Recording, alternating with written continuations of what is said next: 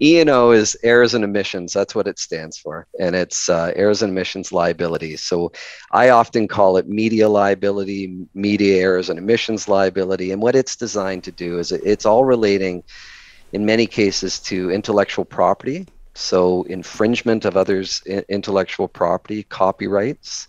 Um, but it also gets into things around defamation, invasion of privacy um, idea misappropriation, uh, plagiarism, all of these different things get bundled into these producers' errors and omissions policies. And you do find them uh, generally mandated on you as a film producer. Um, you, you, generally are asked to get that by your financiers. It could be, you know, public government funding.